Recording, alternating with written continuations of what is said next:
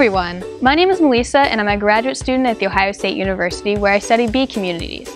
Ohio has over 500 species of bees. These bees are broadly divided into two main types, ground and cavity nesting. Around 70% of bees are ground nesting. The remaining bees are considered cavity nesting. Despite being the most common, ground nesting bees are really hard to manage. These bees will dig their own nests, so they don't really need our help beyond leaving our lawns unmulched and undisturbed.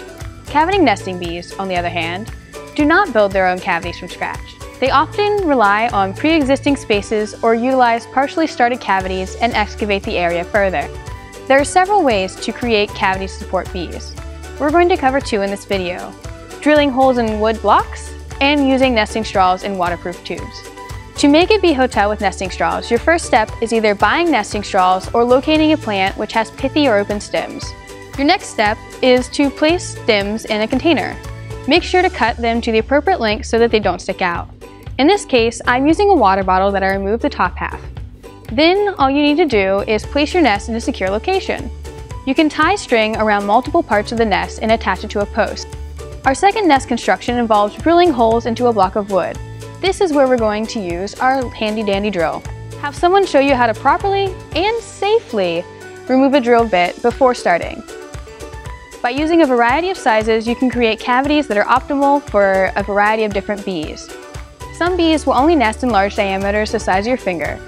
Others will nest in holes half the size of a pencil. You decide how many large and small holes you want to drill in your block of wood. If you're drilling a hole 3 8 of an inch or larger, you need your hole to be at least 5 inches long. A smaller hole only needs to be 3 to 4 inches long. If you want, you can also construct a small roof for your nest to keep out rain. Alternatively, you can just place your nest under a pre-existing ledge, such as a porch or shed roof.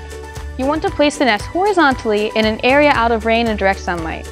Just be sure that the nest is secured and does not roll around in the wind.